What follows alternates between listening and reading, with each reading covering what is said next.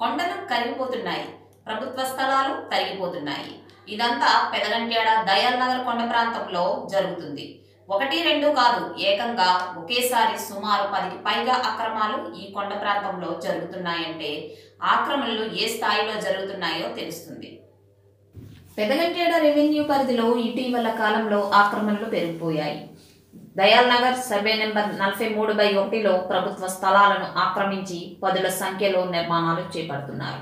విలువైన ప్రభుత్వ స్థలాలు ఆక్రమణలకు గురవుతున్న రెవెన్యూ అధికారులకు తెలియాలా తెలిసినా పట్టించుకోవటం లేదా అనే పలు ప్రశ్నలు తలెత్తుతున్నాయి. రాత్రికి రాత్రే సుమారు నాలుగు రేకుల షెడ్లు నిర్మించారంటే ఎవరు అండదండలతో ఈ నిర్మాణాలు జరుగుతున్నాయో? ఇంత జరుగుతున్న జీవీఎంసీ రెవెన్యూ సిబ్బంది కన్నెత్తి చూడటం లేదు. ప్రభుత్వ ఆస్తులను రక్షించవలసిన అధికారులే తమకేమీ పట్టనట్లుగా వ్యవహరిస్తే ప్రభుత్వ ఆస్తులకు రక్షణ ఇచ్చేదెవరు? గ్రామాలలో పర్యటించాల్సిన వీఆర్ఓలు ఎక్కడ? ఫిర్యాదు చేసినా పట్టించుకోవటం లేదన్నది ప్రధాన ఆరోపణ. ఎవరి ఒత్తిళ్ళతో అధికారులు స్పందించటం లేదు. ఇలా పలు ప్రశ్నలకు సమాధానమే దొరకని పరిస్థితి.